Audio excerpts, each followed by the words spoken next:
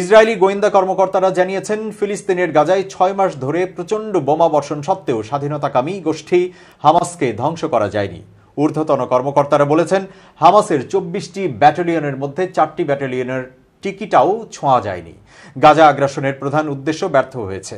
এদিকে যুক্তরাষ্ট্রের মতো মিত্র দেশগুলো ক্রমেই তেল আবিবের বিরুদ্ধে চলে যাচ্ছে।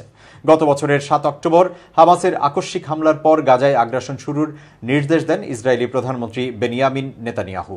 এরপর তিনি অসংখ্যবার বলেছেন, হামাস নির্মূল না হওয়া পর্যন্ত হামলা চলবে।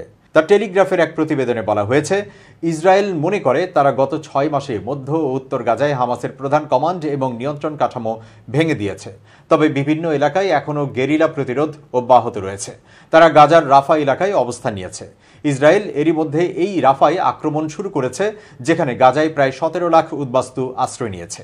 ইসরায়েল মনে করে তাদের খুঁজে বের করতে এবং ধ্বংস করতে আরও অনেক দেরি হতে পারে। এদিকে ইতিমধ্যে ইসরায়েলের ওপর থেকে সমর্থন তুলে নিতে শুরু করেছে মার্কিন যুক্তরাষ্ট্র। গাজায় অবিলম্বে যুদ্ধবিরতির আহ্বান জানিয়ে চলতি সপ্তাহে প্রথমবারের মতো জাতিসংঘ নিরাপত্তা পরিষদে একটি প্রস্তাব পাশ হয়েছে। এই প্রস্তাবে ভোটদানে বিরত ছিল যুক্তরাষ্ট্র।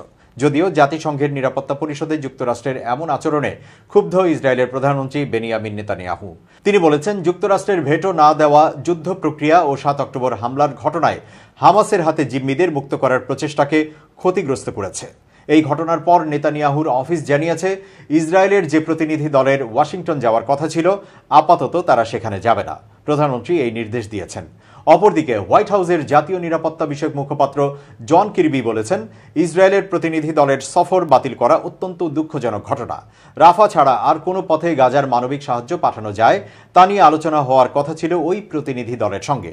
তার দাবি, যুক্তরাষ্ট্র গাজা নিয়ে তাদের অবস্থান বদলে ফেলেছে এমনটা ভাবার কারণ নেই। তারা ভোটে অংশ নেয়নি কারণ প্রস্তাবে হামাসের যথেষ্ট বিরোধিতা করা হয়নি। তবে প্রস্তাবে পণবন্দীদের ছাড়ার কথা বলা হয়েছে, যদিও তার সঙ্গে সংঘর্ষ বিরতির দাবি মেলানো হয়নি।